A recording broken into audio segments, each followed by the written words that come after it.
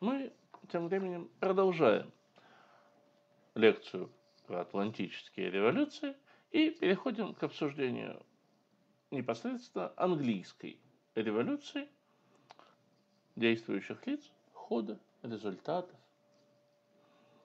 А традиционная ее периодизация, а, она перед вами, а, делит революцию на э, шесть больших, на пять больших этапов. А, вот, собственно, парламентский период и гражданская война а, – это до смерти Карла I. А, дальше Индепендентская республика, протекторат – это правление Оливера Кромвеля, эти два этапа. И завершающий этап – это последние два года правления Ричарда Кромвеля, сына Оливера, завершающаяся переворотом генерала Монка и реставрацией стюартов на престоле Англии. А, собственно, парламентская борьба начинается, как мы уже говорили, с 40 -го года, с созыва Карлом I а, парламента, который вместо того, чтобы покорно подписывать новые и новые ассигнования, запрашиваемые короной, а, выдвигает ряд петиций, пытаясь ограничить законодательным путем, нормативным путем королевскую власть. Я не буду пересказывать всех этих текстов, они достаточно широко распространены и хорошо известны. Это великая демонстрация, трехгодичный акт, 19 предложений – если коротко, э, то э, отстранить от управления э, папистов, так называемых, то есть католиков, и не допускать появления католического епископата при власти, поставить назначение всех высших должностных лиц под контроль парламента, окончательно закрепить контроль парламента над всеми налогами, сборами э, ординарными и экстраординарными. Обязать короля регулярно созывать парламент и не распускать его по первому желанию. Ну и э, так далее, так далее, так далее. Ряд очень жестких требований, на которые Карл, э, вот, собственно, он перед вами, э, на которые Карл никогда бы, конечно, э, не пошел. То есть, по-хорошему, э, эта петиция, эти петиции и были обречены на поражение с самого начала. Они слишком никак не сочетались с представлениями Карла о пределах и возможностях королевской власти. Король Э, пытается распустить парламент, парламент не расходится, тогда король объявляет войну своему парламенту, э, и начинается гражданская война в Англии. Э, несколько лет длятся боевые действия с переменным успехом, но в итоге король проигрывает эту войну и в 1947 году попадает в плен к парламентским войскам. Тут даже не очень скажешь к повстанцам, потому что, э, собственно говоря, не было вот э, восстания против королевской власти. Да? Это король э, объявляет войну парламенту, а вовсе не наоборот. А, соответственно, в 1947 году король попадает в плен к парламенту, в 1948 он из этого плена бежит – бежит он, я напомню, в Шотландию, пытается набрать там новую армию, набирает наемников, они же его и сдают в 49 году, продают, собственно говоря, парламентской же армии. А в итоге в 49 году парламент приговаривает короля к смерти. А, инициатором и вдохновителем, одним из идейных вдохновителей борьбы с королем и человеком, настаивавшим на смерти короля, а, был Оливер Кромвель. фактически глава английской революции. Вот он перед вами, лицо английской революции. Собственно, в 1648 году палата общин парламента, как раз вдохновленная Кромвелем, узурпирует власть Э, разгоняя палату лордов и закрепляя это актом об упразднении палаты лордов. Э, э, понятно, да, потому что палата общин требует убийства короля, смерти короля, и это настолько не бьется с представлениями членов палаты лордов о том, что Э, король это священная фигура, это помазанник Божий, что ну да, в данном случае Карл недостойный помазанник, Карл взорвался, Карл требует того, чего не должен требовать, но это можно как-то решить по-другому. Э, это не обязательно решать э, убийством короля, да? Вот, и, собственно, здесь начинается раскол между Э, палаты лордов, палаты общин, заканчивается этот раскол, как я уже сказал, узурпацией власти со стороны палаты общин, распуском палаты лордов э, и актом об упразднении не просто палаты лордов, но и королевской власти в 1649 году. А, устанавливается республика, которая известна как Индепендентская республика. Индепендентами, сторонниками независимости называли себя как раз последователи Оливера Кромвеля. А, во главе с Оливером Кромвелем, что он делает? Прежде всего, он распускает а, остатки парламента. Их называют охвостьем. А, то есть это то, что осталось от парламента, от того, собранного в сороковом году еще Карлом Первым, через 9 лет гражданской войны, после распуска палаты лордов, после казни короля, после гибели кого-то из членов парламента, бегства кого-то из членов парламента, репрессий, обращенных против еще целого ряда людей. То есть это на самом деле такое э, остатки было увеличение, охвостье парламента. Да? Ну вот. Э, Кромвель распускает это охвостье э, и фактически устанавливает режим единоличного правления. Правит он при поддержке верных ему людей. Э, де-факто, не де-юре, де-факто, речь идет, конечно, о э, монархии. Э, де-юре нет, де-факто, да. Вот, Кромвель издает ряд законов, довольно внятных. Это законы о мореходстве, о развитии торговли, в том числе международной, законы о благоприятствии, к, как это сейчас называется, к Э, собственному производителю, да, повышение пошлин на импортные товары, э, режим благоприятствия для внутренних производителей, для английских.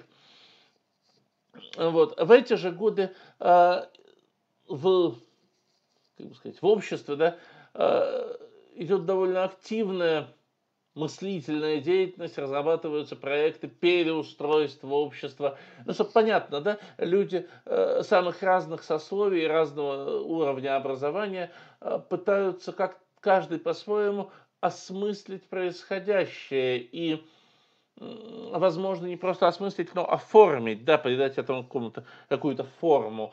Э, из наиболее известных э, текстов это э, ставших результатами таких попыток, это, разумеется, э, трактат «Левиафан» э, Томаса Гоббса.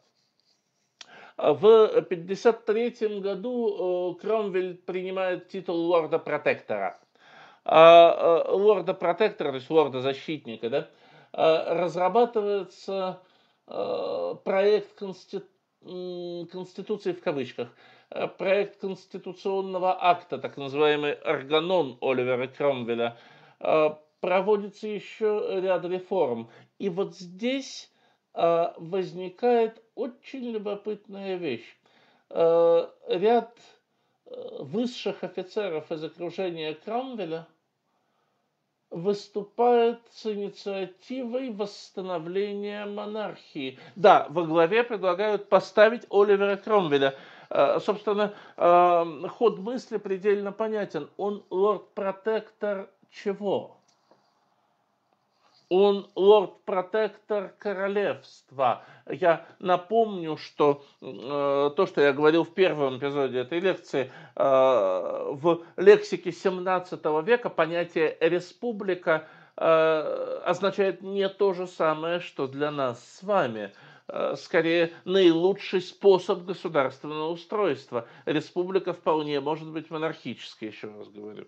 И в данном случае на Кромвеля выходит с предложением восстановить монархию э, с ним в лице, э, с ним в качестве монарха, э, в качестве короля. Он отказывается и достаточно вскоре после этого, в 1958 году, умирает. Умирает сам, его здоровье оказывается очень сильно подточено ну, собственно, прошедшими годами, он уже не очень молод, вот ему под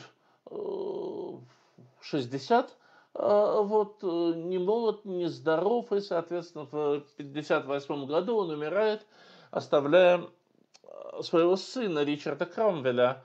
И вот здесь э, обратите внимание, а, общество, я сейчас сознательно отойду немножко в сторону от Кромвеля, общество показывает, что оно а, оно не готово уходить от монархии, да, а, что их вполне устраивает монархическое правление. На самом-то деле здесь нет попытки изменить политический строй. А, здесь нет вот той самой, простите, республики, к которой привыкли мы сейчас в современном значении слова. А, почему я об этом говорю?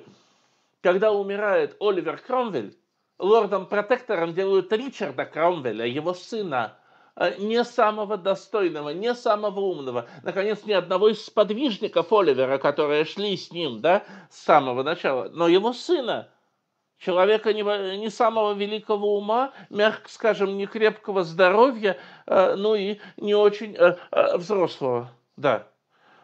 То есть, очевидно же такая да, передача трона наследнику, матрица в мозгах-то сохраняется монархическая – вот. А, Оливер Кром, о, господи, Ричард Кромвель, извините, прожил недолго, я же говорил, нездоровым он был. Он умер через два года, в 60-м. А, и тогда один из старых сподвижников а, Кромвеля, из людей, воевавших еще с самого начала гражданской войны, генерал Монк, он на фото перед вами, да, на слайде, он производит э, фактически переворот в 60-м году, э, берет власть и обращается к эм, э, принцу в изгнании, э, к принцу Чарльзу, будущий король Карл II, э, старший сын э, Карла I, да, с предложением вернуться, принять власть. Э, собственно, что и происходит в 60-м году, когда Монк передает власть э, Карлу, который станет Карлом вторым Стюартом. Революция кончилась. Но что же, скажем мы, неужели все это было зря, да? А, неужели зря была казнь короля, зря были петиции парламента, зря было, наконец, протекторат Кромвеля? Нет, нет, нет, смотрите, какая штука. А, во-первых, а, по результатам революции, вот этих вот 20 лет, на уровне аксиомы э, закрепилось осознание фактической независимости парламента от короля и то, что парламент теперь будет собираться регулярно. То, что парламент представляет практи- фактически самостоятельную ветвь власти в королевстве. Не зря Джон Лок через меньше чем через 30 лет после возвращения Карла выйдут его два трактата о правлении, не зря он будет писать там про разделение э, властей. Э, он будет не предсказывать, а скорее фиксировать уже существующее положение вещей. Э, второе – это полная секуляризация а, государства и политической сферы в целом. Об этом можно говорить очень долго, это очень важная тема, но а, я отмечу э, единственный э, момент сейчас здесь, да, полное устранение католического епископата из сферы управления. э, запрет священникам участвовать в политике. И не за горами э, будет уже акт об я о нем еще скажу, где будет закреплено, что король Англии может быть только протестантского вероисповедания. Э, из-под власти короля выводятся суды. Суды становятся еще не самостоятельной ветви власти, но уже практически. Ну и, наконец, э,